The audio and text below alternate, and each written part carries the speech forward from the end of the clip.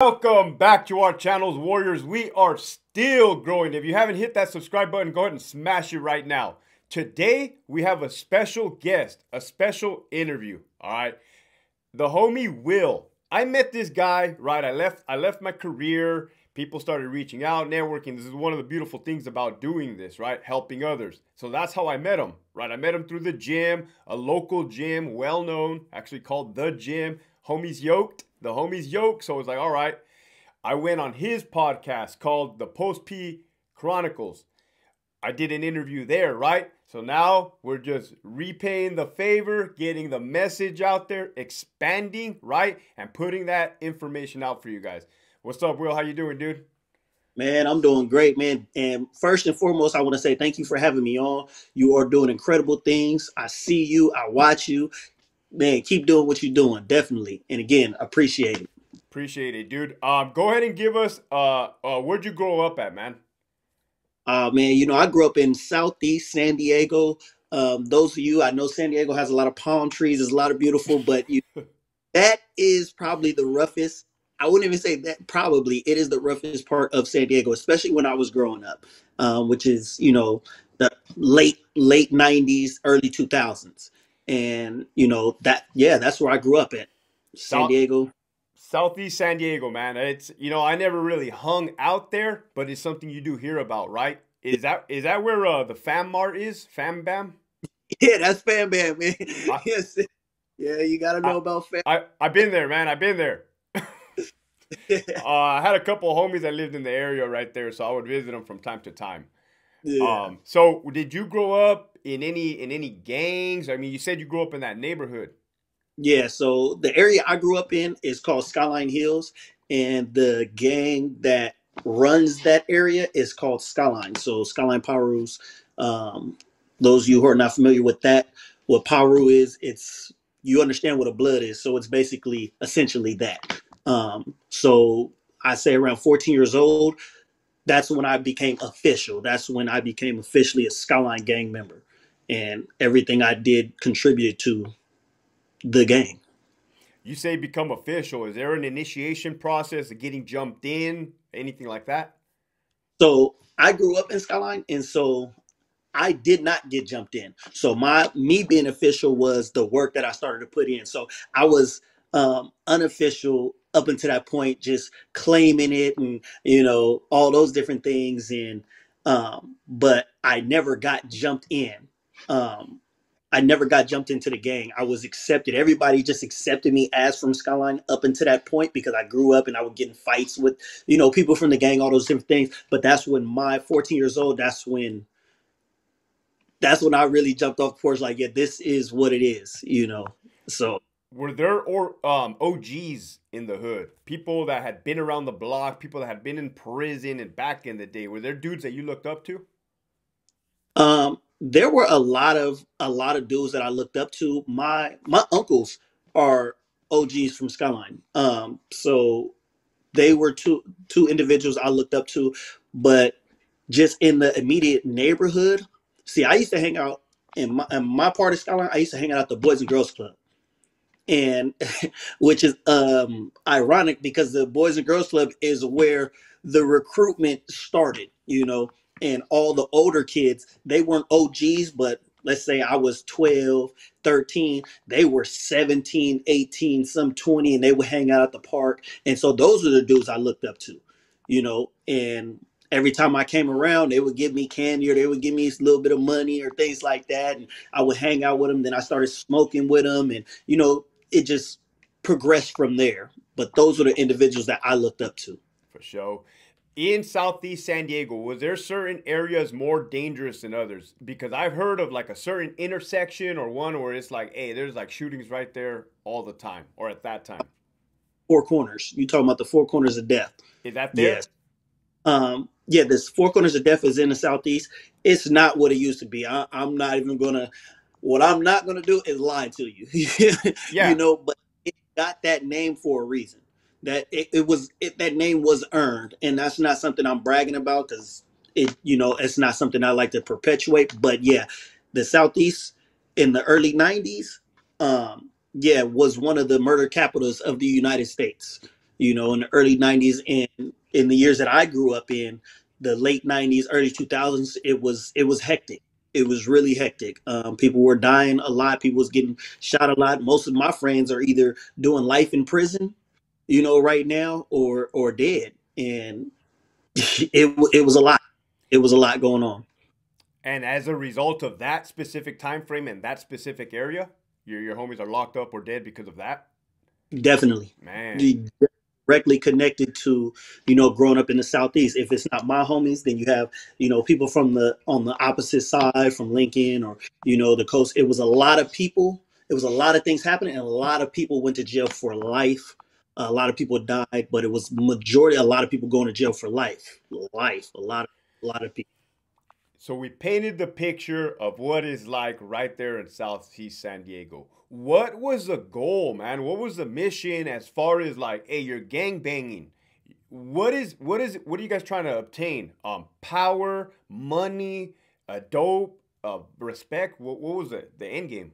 Um, as a as a child, I can say our end goal was to be recognized. Hmm there was no let's get money let's get ri-. that that was never the goal because we didn't do anything to achieve those goals. You know we probably did a little bit of robbing did you know things like that in order to supplement the things that we wanted like drink weed some clothes a little bit of jewelry but never let's get money let's stack let's get houses let's get car let's do all that. You know it was just to supplement the little things that we were doing but our main goal was to get our names out there. That was the goal you know as an adult i can tell you in looking back like man it was there was no goal. Like we wasn't doing anything.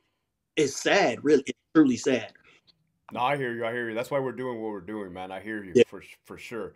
Now can you walk me through if you're comfortable talking about when you got incarcerated um prison time to, for your right. sentencing? Uh, right. What what that was like. Um, and you can elaborate as much as you want from the time of your arrest, from your time you're hanging out in county, the, the, the sentencing, and then and then we'll we'll we'll touch into the prison. Definitely. So um, let me see. So I was arrested um, February February seventh, two thousand six. I was seventeen years old um, for murder and attempted murder. So man, immediately when I was arrested, I'm I'm not gonna lie, I'm sitting in there and I'm in I'm actually in juvenile hall and I'm not taking it serious. I'm not taking it serious because of my warped belief system. I'm just like, oh, this is just another thing. I'm going to court with my homies and we laughing, we, you know what I'm saying? We joking, all those different things until I went to my arraignment and the judge said, yeah, you're looking at 75 years to life. And that's when reality set in. I'm like, oh, shit it's real. you know, it, it's real. Um, and honestly, I went back to my cell, which was I was 17 years old. I was young. I was a kid. I know now I was a child, and I cried. I cried for the reality of man, I may never get up out of here again. Um, and so everything after that, once I dried my tears, it was back to all right, man. You from Skyline, you know, do what you got to do. So it was a lot of fighting. It was a lot of just in my juvenile hall days, just a lot of fighting, um, just chilling with my homies, and at never, at no point did I want to better myself because I was still stuck in that mentality. Um, from there, when I turned 18, so I fought my case from 17 all the way into 18. Uh, on my 18th birthday, they took me to the county jail. You know, they took me to the county jail with all these grown men, and I'm in my if you if you know I had a um, juvenile hall clothes on, so a unit confinement. So they look at me and they're like, "This is a kid." I look like a kid to all these grown men. Uh, my county jail time was a little was a little better because I was a young homie, and so everybody I was around was my older homies. So they they embraced me, and the case that I was in there for, you know, they look at that as a badge of honor. You know, like when you take the life of someone else. Now, mind you, let me let me add this. I did not personally shoot anyone. I didn't shoot anyone. So what I got locked up for was being there. And at that time, if you were there, you were just as culpable. And because I had again that that belief system, I didn't tell. So I wrote it out. And by me writing it out, I got 21 years in prison. And this was in 2006. Yes. 2006. I was convicted in 2007. Man, you touched on a lot of real stuff there, man. Because you're and you were 17 years old, which Yes. is which is a child, man. Let's keep it real. That is young. That's a child. Um, True. in 2006 man the crazy thing is is i didn't grow up in a gang right but my mom would always tell me hector you're hanging out with that uh, bad crowd if they get arrested you're gonna get arrested if you get caught if you're with them and something goes down you're gonna go to jail and i would always be like nah nah it did end up happening to me uh, you know at one point but Right. so I could see how that how, how you got how you got caught up in that, man. I could see how you got caught up in that. Did you feel, hey, since I'm not technically the guilty person at hand behind, you know, the, the gun, did you feel that you had that that you did you feel that you were not gonna get that type of penalty? Honestly, from day one, I felt like I was gonna I was gonna get life in prison. I felt like I was gonna get life in prison because that's how the laws were written. That's how they were given it to me. So, and then we had individuals who were um, cooperating. They were cooperating with the DA. So I really felt like it was an uphill battle for me. So I was just basically wrapping my mind around spending my life in prison. Now, were any of your homies cooperating? Yes. At that time, how did you how did you feel about that? um i felt like i felt like they were cowards you know and this is my mind state back then. So we speaking of the person i was at that point. And i felt like they were cowards. And the reason why is because i've always had this belief that um if you sign up for something or if you do something if you have the mind state this is what i'm going into it to do then you ride what goes along with that you know? So i'm not going to go to a store with you and say hey we're going to rob this store. And then now that i get caught like well well hector was there too no i knew what i was getting myself into you know and for the most part and i still i still hold a lot of those beliefs but not as a gang member just as a man taking responsibility for my actions you know and so by me telling on you it doesn't absolve me from responsibility I did, I committed a crime. So let me take responsibility for my actions without bringing everybody down with me. Now, moving forward in my life, I'm not moving like that. So if me and you go, you know, and I'm thinking we just going in here and get some some some uh, mamas or something, and you like, you know what, go rob this place. I'm like, no, Hector, you did that. You know what I'm saying? Like, oh, that, Right. you know, I hear you, man. But hey, dude, I'm glad you said that was a, that was a gem. That was a gem for the people listening, man. And it's it's it's a code. It's a code. It's honor. I hear when you say, "Hey, man, I don't participate in those activities anymore, but I still hold myself accountable." Right? Yeah. And it's the same way with us, man. You ain't gonna go be telling when you knew what everybody was gonna be doing, right? And, and we see a lot of that on our side too, man. Just so you know, the green side. oh, definitely. Um, okay. California's uh, Department of Corrections, man. Where where'd you go to reception at right off the bat? So I started my reception in Donovan when Donovan. was- So you know, this is a while ago when Donovan was a reception center. Right. and it it again it was just another it was cool for me because I was the young homie. So I'm 18 years old and Donovan and all my older homies, so they everybody taking me up under their wing, like we got you. And again, because of the crime I was in there on, it was like a badge of honor. Now I again I don't find it honorable now. You know, I find it horrible, you feel me? But at the moment at that time, yeah, I'm like, okay, I got this. reception, you get endorsed to a prison. What's the uh, uh, uh the the first prison that you hit besides Donovan? Now, now, now, I'm gonna go back because when I was in juvenile hall, they used to have these uh, videos called Locked Up. Uh, I don't know if you if you're familiar. They had used to have Locked Up, so they would show us the videos of Locked Up. And one in particular was Pelican Bay, and I saw the riot in Pelican Bay, and I said that is the only prison I don't want to go to. Fast forward, endorsed Riggs. You're going to Donovan. I'm like, I mean, you're going to Pelican Bay. I said, no, the hell I'm not. Man, you gotta check your paper again. I'm not going there. man. it was something, man. It was definitely something. I go back to my building and I tell my older homie, like, where are you going? I'm like, Doc, and the the you can see the color drain from their face, which caused the color to drain from my face. I'm like, damn, bro, you really scared? I'm 18, bro. Don't do me like that. Wow, yeah, yeah. Time time frame wise, I, I just did a video on that uh, Pelican Bay riot, two, 2000, I believe. So here you are, here you are in Donovan, man. Reception 2007. The only place you did not want to go to is Pelican Bay, and that's the first place they sent you, man. Oh, they did me like that. what what was it? A uh, le- level four, uh, 180. One, yes, sir. 180. You're in there with the big dogs, man, and you're 18. Yes. Okay. Were you embraced there? Was the culture different amongst the population? Immediately, I was embraced. I, I, I felt the love immediately because, as you know, there is, um, you know, prison is broken up. So you got the, you know, the Hispanics, the whites, the blacks, but even the blacks are broken up to the Bay Area, the Crips, the Bloods, and I was a Blood, and so I was embraced by that car, what we call a car, you know. And again, I was young. My very first experience is they try to move me in a cell with an individual, and this individual, he was single cell, and so he told the police he wasn't in there at the time. So I'm moving my stuff in. I'm not knowing, you know, everything. And he comes back from school and he tells the police, if I go in there, I'm gonna kill him. Right. I'm like, what the hell? like, what? I'm like, what's going on here? He's like, yeah, I, I'll kill him. I'll kill him. So fast forward, he goes to the he goes to the hole.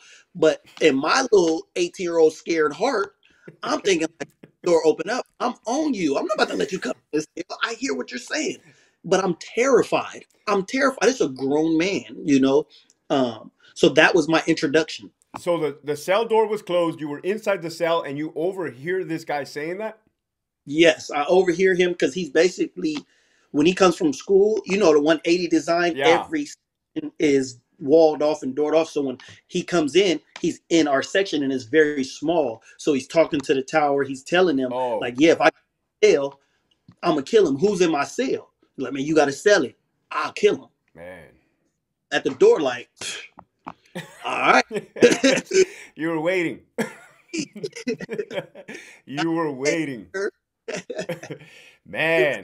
So was there any tension? Tension amongst the races, amongst the factions, the cars at that time? Initially. Uh, at that time, no, I came I came at a good time. Honestly, I came at a really good time. There were no racial riots, and I was up there for four years. Man. there were no racial riots on my yard. And as you know, Pelican Bay doesn't have, even now, I don't believe they don't have 50 50 yards. They don't have. PC yards, only two yards. It's only A yard and B yard, you know. And so I'm me being on A yard, there was really nowhere I can go. You know, there was, you know, you mess up, you can't go to C, D, and E. No, it's Right. only A and B yard, and they're both filled with people with life in prison, life without, don't care, whatever happens, happens, you know. So, but I, so I got lucky. Did you eventually go to another prison after that? Yes, after, so I've been to seven prisons. Seven. I was, yeah, I've been to seven prisons. I ended up doing um four years in Pelican Bay. I only caught two, I caught two batteries. No, I, I caught one battery. Yeah, I caught one battery in Pelican Bay. And then, What, what was after- that? What was that about? Um, you know what? It was a. It wasn't even supposed to be a battery. It was a. It was a. Bro, it was literally. And somebody got in my face, and asked him to back up. He got in my face again, so I did what I was supposed to do. Right. you know. But there's cameras everywhere, so the reason why they charged me with a battery is because I swung on him first. You know, being a lieutenant and hearing those RVR hearings, man, I always try to keep it fair. I always try to gather. You know, it's so it's challenging, man. It's difficult. You know what I mean? I mean, the simple thing would what people normally do is find everybody guilty just right off the bat, Yeah. right? But I always try to hear like, all right, man, tell me what happened. Yeah. Um, and there's a lot i would say this though i've i've come across a lot of um, lieutenants and all my rvrs because all my 115s were always um, like for violence or Yeah. fighting or two-on-ones or things like that i never got the silly write-ups you know i right, never got right. but you being as you know, when you're a part of something, is sometimes you you're gonna raise your hand. And I always I was always one to raise my hand because I never wanted anyone to tell me that I had to do anything. You know, you're not gonna tell you over here. No. right. No. Right. Um, after Pelican Bay, did you did you hit High Desert? I actually did. So I went to Corcoran. I started. I went um, from Pelican Bay. I went to Corcoran. I ended up going to the hole for six months when I got there. From Corcoran, I went to Calipat. Um, when I was in Calipat, I caught a knife case and did a year in the SHU. Um, and uh, once again, it wasn't my knife; it was my Celly's knife. They whooped me. They found the knife in my Celly's uh, coffee jar on his on his locker, but they found me guilty. I'm like, wow, this is incredible. Yes. All right, we're, we're, we're gonna back it up, man. I'm gonna give you a trophy because you hey, you just named all the uh all the wild rocking and rolling prisons, man. Before I even got started, you know what I mean? Uh, for the viewers out there, okay, California, from the north to the south, there's there's some, there was about 34 prisons. Some were more notorious than others, right? For for for the reputation of being violent, right? And me Yeah. from down south, the, the prisons he just named are those prisons. You had Pelican Bay, Corcoran, Calipat, and he said High Desert, right? So, man, go ahead and go ahead and walk me through every prison that you got to and a major event at each one that stands out in your mind. All right. Um, let me see. So we did. Uh, uh, we did Pelican Bay. There was a riot amongst the Norteños and the Southsiders. There was one of those. Um, specifically, one of the North Norteños, and I'm not gonna lie, the Norteños they they they performed outstandingly because they were like 15, 15 deep.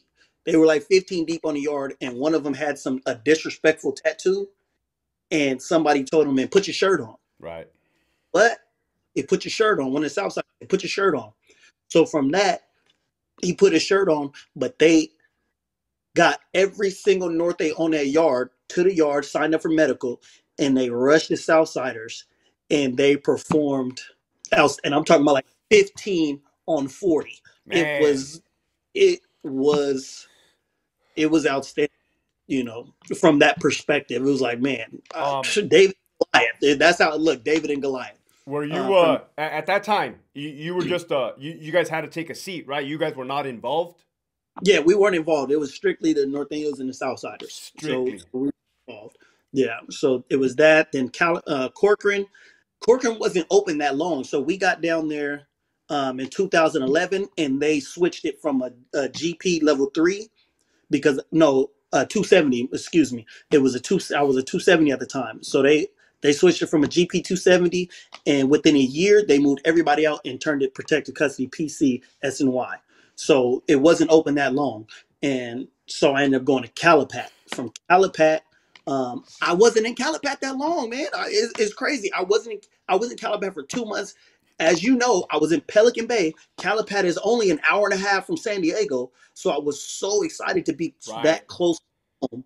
And then they moved me to sail with this guy, this weirdo. and he does this.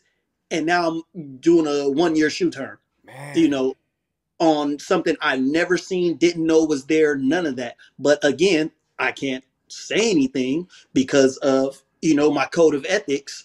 And because I'm in prison, I'm not going to say anything. But yeah, and he ended up PCing up actually Oh he- man.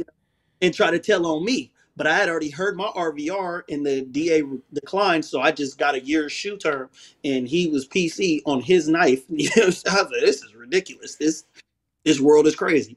Um, so from there, I went to Lancaster, um, pending pending my transfer to uh, to High Desert. Nothing really happened in Lancaster, and because I was only there for like three months, so I was in Calipat for two months, did a year SHU, got kicked out to Lancaster, pending transfer, went to High Desert, and that's yeah, it was crazy. So at, at, you were at Calipat. You were you were you were an hour and a half away from your hometown, man. Yeah.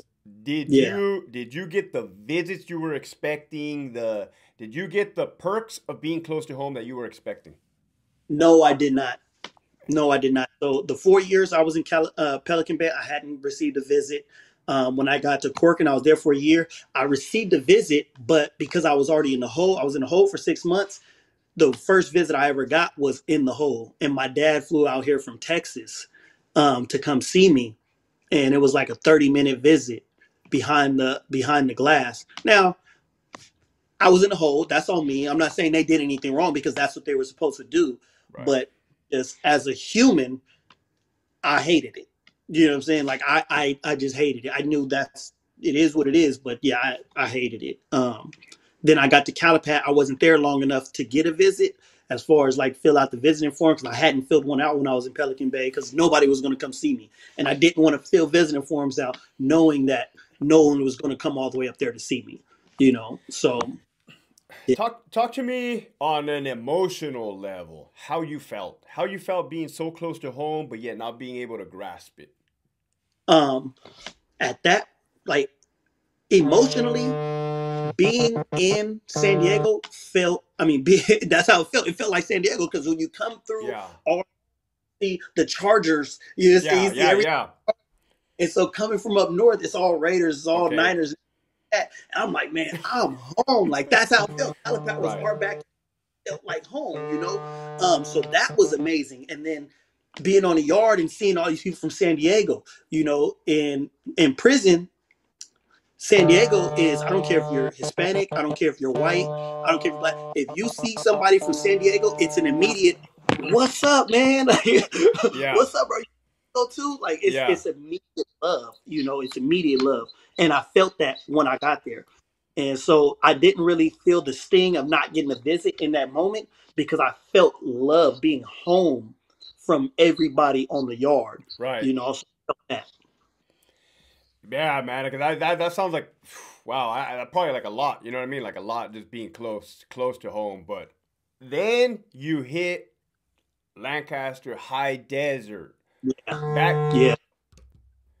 So right, you touch down in High Desert. Back up, back up to the top of Northern California. Was it wintertime, summertime? Was it freezing? Wintertime, it was snowing. Yeah. man, Yeah. was that a sh- was the weather in itself a shock, man? the weather was 100% a shock. You know, like I said, that was the first time I ever seen snow. And I'm not talking, I seen a little bit, once it hit the ground, it just melts, you know, stuff. No, it was packed. I'm throwing snowballs. It was, it was different to say the least. Um. Uh, what what was the yard? One eighty. Yeah, 180 back to a one. Yeah. Okay. Um, politics, politics. What were the dynamics? Um, honestly, you know, everybody talks about Pelican Bay and things like that. Pelican Bay didn't have anything on High Desert. You know, we you see somebody getting stabbed every, sometimes every day, but majority every week. But when I first got up there, it was lockdown after lockdown after lockdown. Um, so we might go to yard this day, but then now we lock down for two weeks, and then we go to yard again one time. Then we're locked down for two weeks, and then it was just you know, so on and so forth, um, because they stopped those those year long lockdowns. Right, they right. they put into that, so you could only be locked down for I believe it was like two weeks for them, enough time to search the entire yard, and then you have to do unlocks, incremental unlocks, and things like that. So we didn't have to do the long one month, two month, three month lockdowns anymore. I have I have my own theory about that. Let me know if it's Right. if it's true or not. In my own theory uh, regarding they used they used to be one year lockdowns, two year lockdowns, sometimes even more. Right back before. Yeah. Right. And, and then they stopped. They simply stopped, man. They stopped like they didn't say, "Hey, uh, Hector, we're just gonna stop doing lockdowns." They kind of just, "Hey, let them up. They're coming up," and it's like, wow, you know what I mean? Like it just started happening. Now, Yeah. something that I kind of noticed, and this is my theory, is do you before when when let's say let's say the Southerners and the blacks got into it, right? Slam them for Uh-huh. slam them for a year. You let them up. A lot of the times they would fight again, try to get the revenge or get back or get the upper hand. I Right. believe that when they started lifting up, lifting the lockdowns, that you, hey, it's basically you fight, boom, go back out there again. You fight, go back out there again. Did that discourage you guys from fighting? Um, I wouldn't say it discouraged. I feel like because I could I could say specifically in one event where the Bloods and the Crips ended up getting into it, and we went on lockdown for that. And then when we came up, we got into it again. We came up and that was it. It was like one or two, three incidences, three lockdowns, three incidences, and that was it. We had to understand, okay, you got some, we got some, we're good, you know. Right. And Right. at the letting us up actually helped because people was like, we don't want to do those long lockdowns anymore, you know. Yeah. As long as no one died, then people were like, okay, it's cool. Okay. As long as your homies died or anything like that, you was, you was like, all right, we're good. Okay. Okay. So that that that makes sense, man. Like going, going until okay, okay, cool. Yeah. Yeah. like a fight, you shake hands at the end of it, and that's a wrap. Yeah, because people want to program. They like, man, I want to, I want to get them visits. I want to go to canteen. I want to get my packages. I want to do everything Right. that, the little bit of things that we can do. Let's do it. So you said Pelican Bay had nothing on High Desert. No. What were some of the instant instant observations on your part where you're like, wow, man, this is crazy? Um, the instant observations were, well, in Pelican Bay, the thing that they had, they had um, the yard that I was on that made it less dangerous. It's still dangerous. People still die, things like that. But what made it less dangerous is the PIA. You know what PIA is. So being able to have those type of jobs, being to have those type of incomes, made people want to go to work and do certain things because now there's an economy on the yard. There's actually money being generated. But in high desert, there was no economy. There was no drugs. There was nothing. So there was no drugs. There was no um, economy from PIA. There was nothing. So all people had was to be angry. And so every small thing turned into something large because essentially we don't have anything to lose. We don't we don't have anything coming, so we have nothing to lose. Right. That's a um. Yeah, I'm not gonna ask you to go into detail, man. But as far as I, I always assumed drugs was a constant flow everywhere, man. That's kind of my assumption. No, no. Even even in Pelican Bay, I would say because you got to think because you're so far, hmm because you're so far, it's harder to get introduced. It's harder for those introduced. So the whole time I was up there in four years, I probably saw weed twice, and that's Man. because someone came with it. Right. You know, somebody came with it. So there there wasn't anything like that. You know, and in high desert it was kind of similar. Like there wasn't anything there, so it was just violence. It was just a lot of violence. That's interesting, man. That's interesting because from my from my experience, the majority of the violence was based on drugs. If you think about it, right? The majority disrespect disrespect is huge, and dope is another thing, right? Debt. Was this violence just from from hostility, anger, rage, um, bo- It bo- could be- boredom? Well, for for I would say for us, the main us being black, the main thing that would happen is basketball court. you know, like playing sports. That's where a lot of a lot of fights, a lot of riots, a lot of things happen over sports. Um, Hispanics, as you know, I mean, it could be just anything. You know, Yeah. a- anything and like there's no there's no fighting so what happens if you say the wrong thing i saw someone get stabbed because he had too many cellies so like you can't get along with your cellies Right. You can't follow the rules and regulations because you keep fighting cellies and he got stabbed on the yard and you and i know people are hearing it's like what Yeah. yes yeah it's one man makes the rules and if you go against his rules that's I- Man, this is very intriguing, man. I- I'm actually blown away because of the level of violence from what I've heard from everybody, right? The le- I'm over here thinking, man, these guys are ringing up drug deaths to the masses. They're just massacring these people. No, no. It's it's man, it was one individual and this one was I ain't gonna lie, this one was kind of like was sad to me hmm because he was a Hispanic dude, but he didn't run with the Hispanics. He was just a regular dude. He was just a regular dude and they didn't like him. You know, they didn't like him. And I watched him get stabbed in the day room. And the way it, the way it happened was so like orchestrated. It was so so as you, as you know how two uh, 180 is designed. So they're right there, and what happens is they end up uh, getting on somebody on the upper yard. So all the police officers on the lower yard ran to the upper yard in his day room. And I'm in my cell looking out in the day room. And when all the police run in the tower, he goes to the front door because he has to open up the doors for everybody. So he has to open up doors for his officers to run and then check the yard. So while he's over there, they're stabbing this guy in the day room. And he's just and he's a he's a chubby young kid who was just weird talking. And he lied a lot, talking about, oh, I'm a rapper and I know this guy, I know this guy. He was just a little weird, but he wasn't a bad guy. He wasn't a bad kid. He was just didn't know how to fall in line. And man, they they butchered him. They they butchered him, and he was getting stabbed for a while to where the off the the tower he was right up under the gun tower, and so he the officer's walking back and forth, but he can't see them.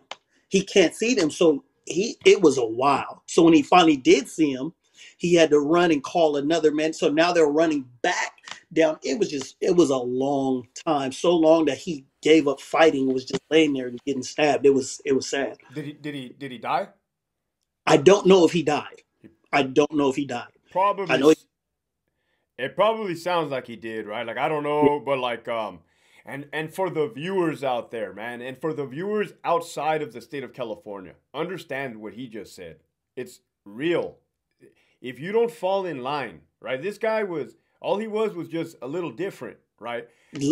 That's it. I made a video about a white inmate that was overweight, scraggly hair. He refused to mm-hmm. work out. He refused to shave his beard. They hit that oh, dude right here with a knife. Mm-hmm. Mm-hmm. Simple as that, man. Simple. Uh, I'm getting chills just thinking about it. Simple is just not not following the simple simple simple rules or that their their rules and it's it's it's twisted world man it's treacherous um yeah. So that one i can see how that one kind of hit home because it's like hey man this isn't this dude isn't part of the game but he got yeah. enveloped in it yeah it, i think the part about those instances is how how desensitized we become to it right you know on the yard and we like oh somebody's gonna get stabbed and a normal person would be like, "Oh my God, there's violence," And you would you would shy away from that. But what we do, it's almost like we get our popcorn and like, "Oh, somebody's getting stabbed today. I want to go to the yard. and I want to watch it." Oh, it was a good one, and you start to compare it to the last one or this one, the previous one, and now you just watch like, "Oh, did you see how they got him?" And like that's we become desensitized to this violence, and that's the worst part of it for me. Likewise, likewise, likewise, man. Because it affects your home life. It affects, you know, your spouse, your children. It affects the whole dynamics of life, man. So, any other drastic high desert incidents that, that stand out to you? Um, man, it's so it's so big. Like when I tell you, there were so many. St- right. I saw. I've never seen that many stabbings in all the prisons I was in there were so many. I'm talking the, the white boys, they getting shot because they're stabbing people, and the knife gets stuck in someone's neck, and so he's trying to yank the knife out of the neck, and he ended up getting shot by the tower. Um, it was it, it there were a lot of stabbings. Real quick, man. Lot. I keep it extremely real on this channel. Real quick. What was your thought, and you just said it right now, about the shooting of the actual Mini 14 uh, at High Desert? Because everybody that I've heard, they're like, yeah, man, we fire the Mini 14 all the time. Did you notice that? No. No? No. Like, the and, and even the time when they shot the Mini, that was on the upper yard. Okay upper yard when they shot the mini. I actually have never been on a yard, and I'm talking about I've seen riots, I've seen you know people getting killed, yeah. but I've never been on the yard. I've heard it from the upper yard, but I've never been on the yard and saw the mini get fired. Man, man, okay, I was under the assumption that hey, it was just fired, but I hear what you're saying. That's probably just luck of the draw on your part, man. luck of the draw. Listen, Hector, there were so many stabbings. I'm, I'm telling you, it was just like, what the hell? They yeah, killed. Hey, it's ridiculous. Man, so okay, you do. How much time total did you do uh, incarcerated? Uh, sixteen years. Sixteen years to the day, because um, I got locked up February seventh, and I got out February seventeenth. Sixteen years later. Man, did you prior to going home? Did you have a game plan? Um, I had a game plan, and my game plan I, honestly, everything that I've been doing since I've been home was not directly a part of my game plan. Right. You know, that's one thing I talked to my friend about. It's like we can have the best laid plans in prison, but those best laid plans in, in prison do not prepare you for the real world. They don't prepare you for the real world because we don't know what to expect out here. And life moves fast out here. It, it, it truly moves fast. So my ultimate game plan was to not go back to prison, Right. not um, go back to my old um, criminal addictive thinking. Right. Those were those were my game plans was to rebuild those family ties, you know, was to volunteer to give back to the community that I helped to destroy. Those were my game plans. I didn't know how I was going to facilitate those plans, but that's what I wanted to do and that's what I have done since I've been home. That's awesome, dude. That's awesome. Is there any courses or classes while you were in that prepared you for that? Because it sounded like a whole change of mindset. it, it was my first change of mindset happened not in a class but through action because i caught in 2018 i caught my last battery that was my that was actually my last 115 was in 2018 i got out in 2022 um, but that was my last 115 and i had you know gang member one of my homies did something. I had to put hands on him and me and somebody else put hands on him. We caught a battery and i'm like you know like what am i doing? You know what i'm saying? Like what what truly am i doing? I'm in a good spot. I ended up going to ironwood. I got override to a level three. So override i still had level four points. I paroled with level four points but for a certain amount of time i had been doing good meaning no write-ups. And so they gave me the opportunity to go to a lower level and that's what an override is for those who don't know because i know you know what an override is. Yeah. this so i got i was able to go to a level three and it was like a different world for me you know it was a different world. I'm out to sell all the time. Yeah. i get to do all these different i'm like wow and i'm actually going to i'm signing up for college i'm going to self-help groups i'm doing all these different things and then i'm right back into the to the bullshit and mm.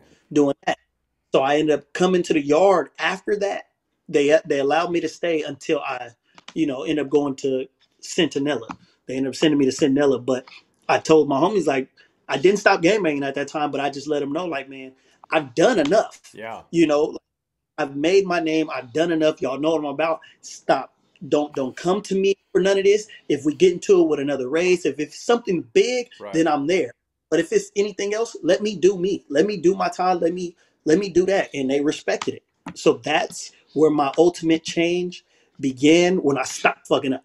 Excuse my language. When I, you that know what makes sense. That makes sense. You know, yeah. Cool. So so what what are you doing now? What are some of the stuff? I mean, share it with the crowd because this is gonna this is gonna get that that message out there, man. Where can people find you?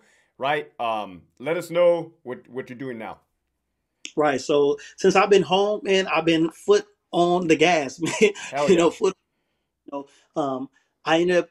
First off, I was blessed to have an opportunity to work at the gym Chula Vista, um, and I met this great guy. Don't tell him I said that though. But um, No, go ahead, man. Go ahead. This is this is the time. Steven Kruckenberg, man, met this met this great guy, man, and you know we was able to put together. I had a dream when I was in prison to start a podcast, and the podcast that I wanted to start was about, and I didn't have the name at the time, but it was just about changing the perception of what it means to be formerly incarcerated. You know, and I heard a couple of stories when I was sitting in a cell about individuals who, one man in particular, who helped put the whole Jordan brand together and what people didn't know about him, he's a multimillionaire now, you know, works for Nike, everything. But he was a gang member and he went to prison for a murder at 17 years old or 16 years old. And he did like four or five years because he was juvenile. And I'm like, what the hell? Like, why don't people know these stories, you know? And so that's where it was sparked. So fast forward, I meet Steven. We talking. He asked me something that I was passionate about. I let him know, like, you know, I had an idea for this podcast, you know, changing the perception, you know, showing people who are coming home, like, look, you can live great and exciting lives. Your life is not over. You know, it's actually just beginning, and you don't have to go back to your old ways of thinking and doing the things you used to do. You can do it the right way and be successful, you know. And he was like, man, I'm with it. Long story short, we started Post P Chronicles, and you know, not only that, we also Stephen had a dream of having some type of um, you know, giving back to the community. So we was able to start Post P Chronicles group. And inside of that group, what we do is offer free memberships to individuals who are formerly incarcerated to some at-risk youth. And we give them free memberships to the gym in Chula Vista. Also with that, we ask them to come to um, we have self-help groups twice a month, every other Saturday. We're actually having one this Saturday um, where we talk. We, you know, we have prompts, and we just see how we can help them better themselves in life and stay on the right track. So those are two of the things I've been able to go to schools and tell my story and talk to the kids, give back to the community, um, and volunteer, volunteer, volunteer. Man, that's that's what I've been that's what I've been doing. Also, the homework group, Second Chance. Um, I've been with that group, and they are doing amazing things. So I've just been trying to give back and just you know and win, man. I've been traveling. You know, I got my passport. Yeah, dude, that's what's up man, so life is really good out here, man. It's so, really good. I'm proud of you, dude. So for the viewers watching, they want to tap in with you. Hey, I, I want to get involved in what he's doing. I want to share my story. I want to go hit that gym, like he's saying. You know, I'm, i was formerly incarcerated. How can they reach you? Um, so you can reach me on IG, um, as Instagram, um, at Second Chance Will. That's two ND Chance Will. Uh, you can reach me on Facebook. My name is William Riggs, and that is my Facebook name, William Riggs. Um, you can reach me at uh, James Midas at James Midas one at iCloud.com and just reach out. Um, you know, watch watch the podcast Post P Chronicles on YouTube, on uh, Spotify. Check us out, man. We got incredible stories. One, if you haven't heard, I'm pretty sure you have. Hector Bravo. you know, just uh, just tap in. Let me know what you think. Yeah, so I'm gonna link all his links on the bottom. You guys better go over there, check it out, subscribe to the YouTube because this is how this works, man. People go through it, they come out, they want to share that message, and this is how it works. Networking, man. It's awesome. It's awesome. Before we close out, is there anything you would like to share with the viewers? Any message of hope, anything to the youngsters, anything?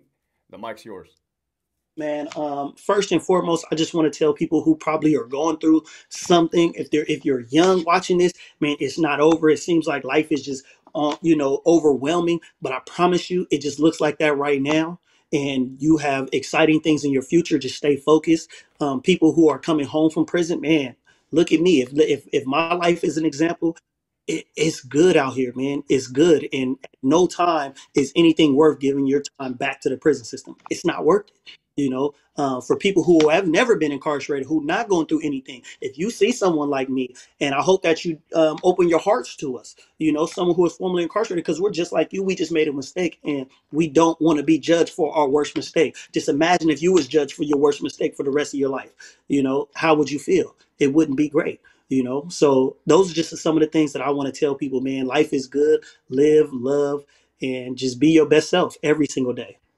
Solid, man. Solid. Um, you, are an upstanding individual, dude. You're you're a man of honor. I can see that, right? In the short period of time that I've known you, just the way you conduct yourself, man. Very a- admirable. With that being said, I'm gonna close it out for the viewers out there. Uh, thank you for coming on, dude. I appreciate it, man. Your your story's awesome, and it's gonna help people, no doubt, man. Appreciate you. Yup. So with that, keep pushing forward, guys.